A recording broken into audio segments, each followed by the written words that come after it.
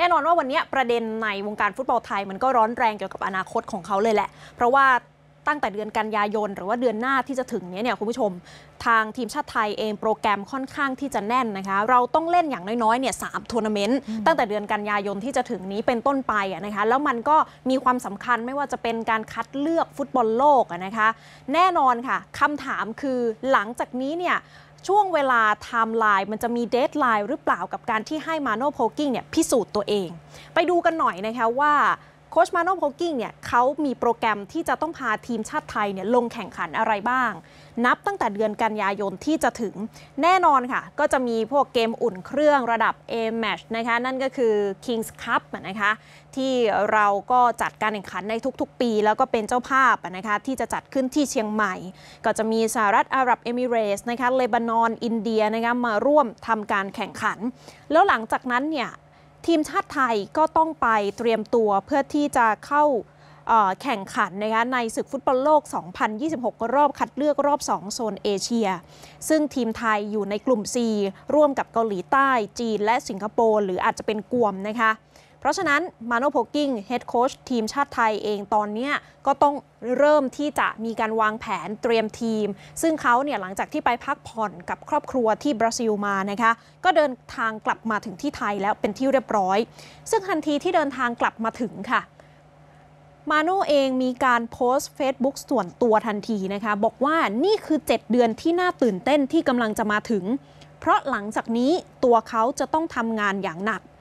ซึ่ง 11 นัดนะคะใน 7 เดือนที่มาโน่ว่าเนี่ยค่ะเราไล่เรียงกันไปให้คุณผู้ชมได้เห็นภาพกันนะคะว่ามันมีเกมอะไรบ้างอย่างที่บอกว่า Kings Cup เนี่ยเดี๋ยวมีแน่ ๆ แหละที่ยืนอยู่ตอนนี้ 7 กันยากับ 10 กันยา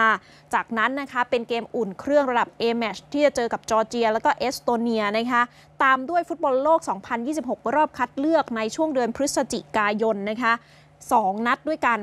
แล้วก็หลังจากที่พฤศจิกายน ฟุตบอลโลกรอบคัดเลือกไปแล้ว ทางเดือนมกราคมในปี 67 เนี่ย ก็จะมีเอเชียนคัพนะคะ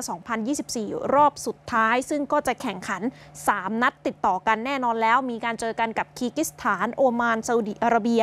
จากนั้นในเดือนมีนาคมของปีหน้าค่ะ ก็จะเป็นโปรแกรมการแข่งขันฟุตบอลโลก 2026 รอบคัดเลือกต่ออีกใน 2 โปรแกรม 2 นัดที่เหลือนะคะ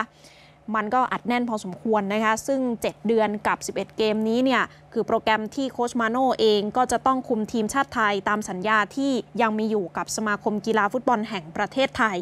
แต่พอโคชมาโน่โพสต์แบบนี้ค่ะ คือแกไม่ได้โพสต์แค่ว่า 7 เดือนประมาณว่า 7 เดือนอันตรายใช่ไหมพี่ยุ้ยคือมันมีมันมีข้อใช่ความอื่นด้วยใช่ไหมใช่ค่ะใช่ใช่ก็เออมีมีลักษณะข้อความอื่นด้วยนะคะ คุณผู้ชมที่มาโนโพกิ้งเขาโพสต์ใน Facebook ส่วนตัวนะ แต่ว่าข้อค่ะความเจ้าตัวเนี่ยคือ kill or be killed ก็คืออมฆ่าหรือถูกฆ่าโอ้นะคะ แล้วก็ now that's the way we do it exciting seven months coming up together we can do it อะนี่คือสิ่งที่มาโนโพกิ้งเขาโพสต์เอาไว้นะคะ ก็เหมือนกับว่าอะเดี๋ยวเจ็ดเดือนเดี๋ยวเรามาดูกัน แต่ทีนี้คุณผู้ชมคะ วันศุกร์ลุยสนามข่าวเย็น คุณผู้ชมติดตามแล้วกัน เดี๋ยวมีสัมภาษณ์พิเศษ มาโนโพกิ้งและโค้ดเอกวัสพลแก้วผลึกค่ะจะมาคุยกันสดๆ ในรายการลุยสนามข่าวเย็นอืมอะเดี๋ยวรอติดตามกันได้เลยนะคะ ก็น่าจะได้คำตอบเลยค่ะ คือหลังจากเนี้ยต้องไปถามโค้ชมาโน่เองว่าไอ้คำว่า ฆ่าหรือถูกฆ่าเนี่ยอืมหมายความว่ายังไงอ่าก็เหมือนจะรู้ตัวหรือเปล่าว่าช่วงเนี้ยเป็นช่วงเอ่อเจ็ดเดือนอันตรายเออของตัวเองอืมอ่าสำหรับสัญญาที่เหลืออยู่ แต่ที่แน่ ๆนะคะ มันยังไม่มาถึงอืมโปรแกรมการแข่งขัน มันจะเริ่มกันในกันยายน เพราะฉะนั้นหน้าที่ของโค้ชมาโน่เองเขาก็ทำเต็มที่อยู่แล้วนะคะค่ะกับทีมงานในช่วงระยะเวลาสัญญาที่เหลือหลังจากนั้นเนี่ยก็ขึ้นอยู่กับทางฝั่งของผลงานที่สะท้อนออกมารวมไปถึงสมาคมด้วยว่าจะตัดสินใจยังไง แต่ที่แน่ๆอย่างที่พี่ยุ้ยบอกเนาะวันศุกร์ ใครอยากชมสดเอ๊ะฝากคำถามมาได้ไหมเนี่ย ฝากคำถามได้ค่ะอ่าเออฝากคำถามมาได้เลยนะคะ ไม่ว่าจะเป็นที่ทาง Facebook นะคะ T Sport 7ค่ะนะคะก็ได้เช่นเดียวกันนะคะคุณผู้ชมเพราะว่าเดี๋ยวเราน่าจะมีโปรโมทนะ ว่าเดี๋ยวจะอืมมีพูดคุยสัมภาษณ์มีประเด็นไหนอยากถามมาโน่นะคะ ก็ส่งคำถามกันมาได้เลยวันศุกร์นี้คุยกันสดๆในรายการค่ะ